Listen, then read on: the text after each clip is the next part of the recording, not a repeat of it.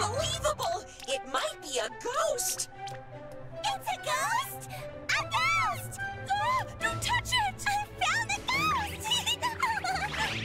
ghost, you guys! This is not a good thing!